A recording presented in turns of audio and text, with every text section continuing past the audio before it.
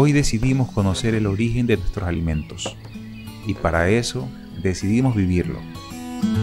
Así que fuimos a la casa de Eddie Aldaz, Melena, un agricultor del cantón San Borondón que nos abrió las puertas de su hogar para permitirnos acompañarlo en su jornada desde muy temprano.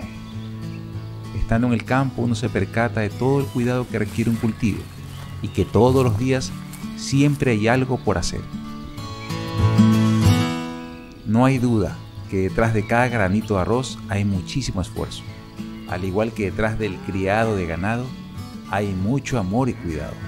Por eso, en la prefectura del Guayas valoramos lo que hacen nuestros hermanos agricultores, dotándolos de todo lo que esté a nuestro alcance, para que en nuestras mesas nunca falte un buen plato de comida.